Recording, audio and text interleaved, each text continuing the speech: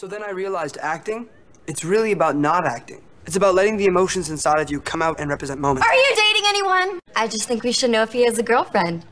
Do you? Yeah, I do. Beck Oliver is by far the least used character in Victorious. Because of this, many tend to say that Beck is a flat and boring character.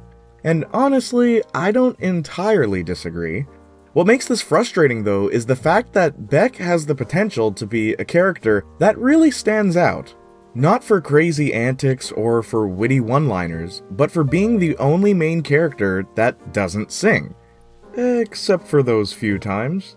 Beck's passion in life is to be an actor, but unfortunately, most acting scenes in Victorious are usually relegated to a quick joke at the beginning of an episode or a background scene for a much greater plot. Because of that, Beck's main talent never really gets to shine in any way, despite there being a variety of opportunities where being an actor would come in handy. But how could we fix this?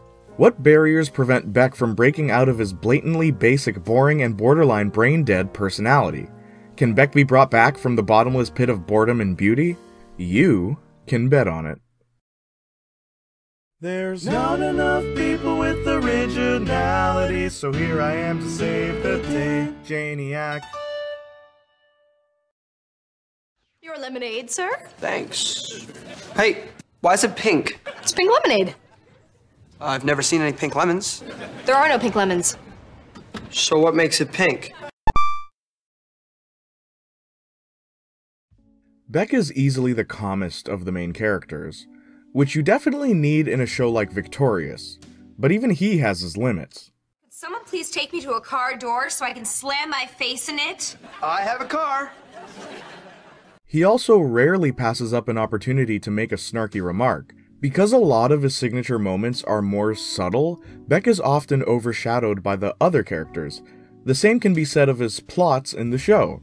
You see, all of Beck's main plots revolve around other characters. Whether it's Tori, Robbie, or especially Jade, he usually takes a back seat to their crazy antics, playing a reactive role to their positive or negative actions. This is a huge misstep, because Beck is incredibly talented. The show establishes that he knows enough about mechanics to fix Robbie's car, he's savvy enough to write and direct his own plays, but above all else, he has a deep seated love for acting and drag racing. no, no, the other drag racing. As I mentioned in my Victorious vs. Taina video, links in the description down below, Beck would be a lot more interesting if we got to see him use his talent more, and I don't just mean for plays. Say, for example, in Terror on Cupcake Street, when Beck has to confront the guys that jumped him and Andre, imagine if we got to see Beck use his acting skills to get them out of that situation. Or even in Locked Up, how interesting would it be to see Beck use his acting skills to convince the inmates to help the Victorious gang find a way out of prison? It doesn't have to be realistic, because, well, it's Victorious, so it wouldn't be that far fetched to see him use his acting to charm his way in and out of situations. Speaking of charm, the most overstated thing about Beck is, well, his looks.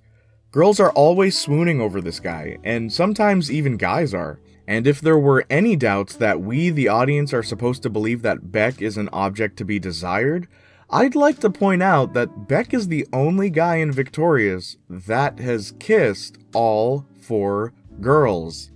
Lucky guy. What was I talking about? Oh, yeah. Another thing about Beck that should have been played with more is his leadership role. Let me ask you who would you say is the leader of the Victorious gang? It's definitely not Robbie or Trina. Kat's way too ditzy. Jade probably wouldn't want to be the leader. Andre usually leads everything musical, but outside of that, he often plays a supportive role. So that leaves us with Beck and Tori. I'm sure many would default to Tori because she's the main character. And in many cases, yeah, Tori tends to call the shots. But remember, Tori is the new girl. The rest of the gang have known each other longer than they've known Tori. So the leader of the V gang before they met Tori would most likely have been Beck. There are a few subtle hints to this too. The most notable being whenever the gang needs a ride somewhere, 9 times out of 10, Beck is the one driving. even though we know Tori is the only one that can't drive. If the show really set Beck up as the gang's leader, I feel like he'd be easier to identify as more than just the pretty boy. The least the writers could do is write him consistently. In I Party with Victorious, Beck states that he can't be scared. For the rest of the episode, Sikowitz tries and fails to scare Beck. But then there are a bunch of episodes where Beck is clearly shown being scared. Brain Squeezers, Terror on Cupcake Street, and Wi Fi in the Sky are just a few examples. How much more interesting would it be if Beck genuinely couldn't be scared? It'd be the perfect way to make him zany without taking away from his level headedness or leadership status. You could even say it has something to do with his acting skills, or maybe it has something to do with his tragic home life. No, it's cool. It's just, you know, most high school guys don't live in an RV parked in their parents' driveway. Well, my parents said if I live under their roof, I gotta live by their rules. So your roof? My rules. Throughout the show's run, there are more than a few references to Beck being a rebellious child. But before I dive into that, I want to share something very important about Beck Oliver with you. Listen closely because you might miss it. Something I couldn't help but notice while rewatching Victorious, something that genuinely caught me by surprise about Beck's character, something I think is constantly understated about Beck's life and why he's awesome, is the fact that Beck Oliver is Canadian!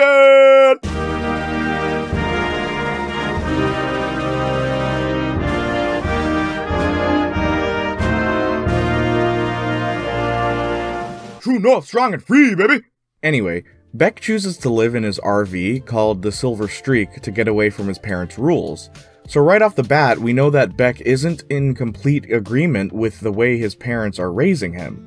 Is this because he's an irresponsible teen, or are his parents just too strict? We never find out, but I will say there are a few hints that Beck's parents strongly disapprove of his relationship with Jade, so maybe that has something to do with it. Maybe Beck loves Jade so much that he was willing to move out from under his parents' house. Again, that's just speculation. Something that may give us a bit more insight into Beck's character, however, is his RV. More specifically, the things inside his RV.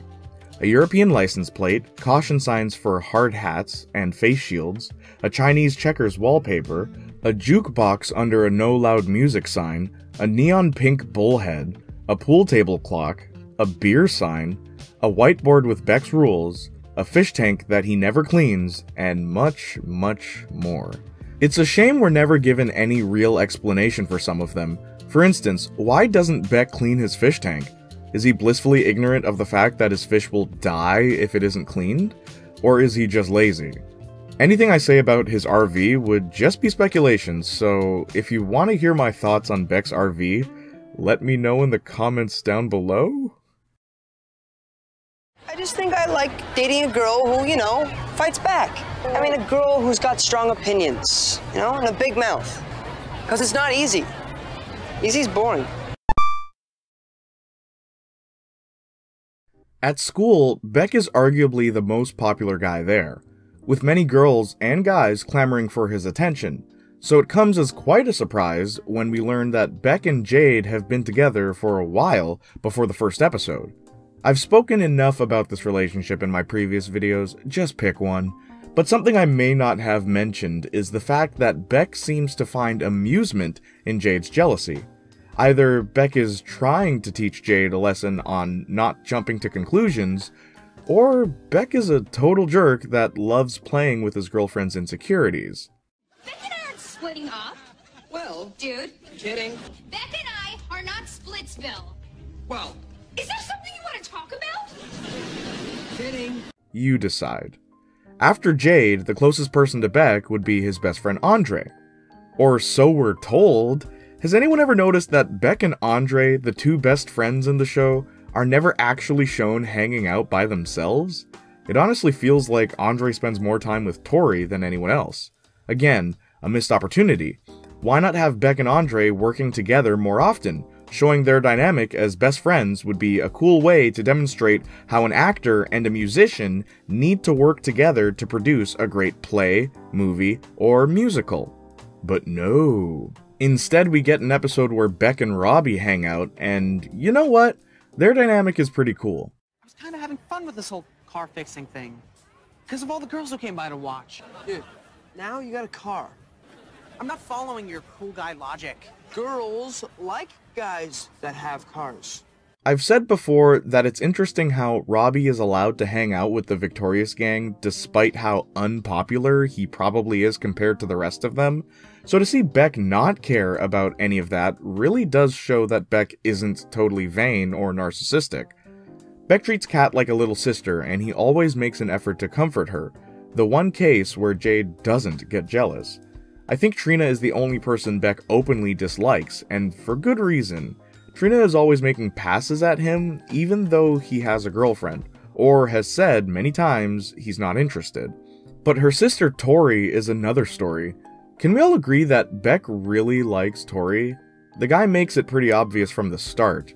During the alphabetical improv, he could have easily said, let's not, in response to Tori's kiss me.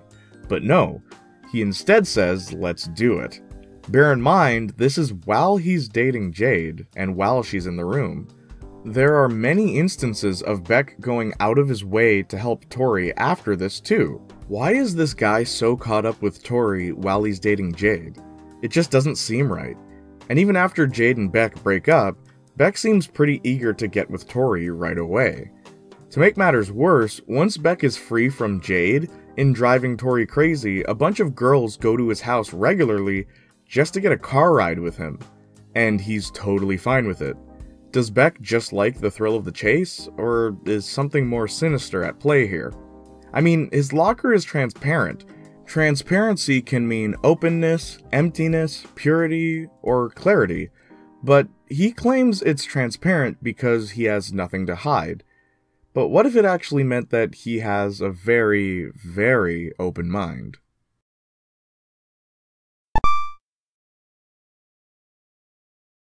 Beck Oliver had a lot of potential to be a really great character.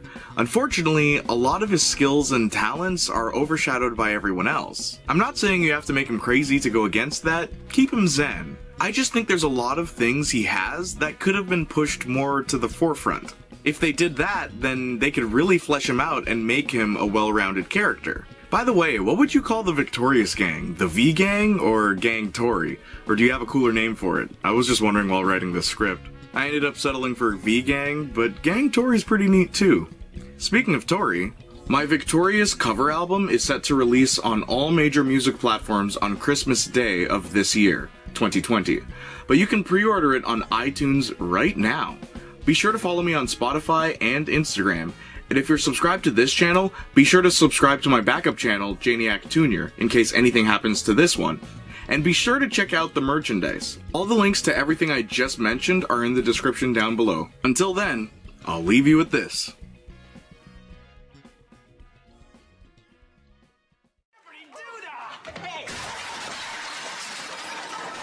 This is gonna be a hard one.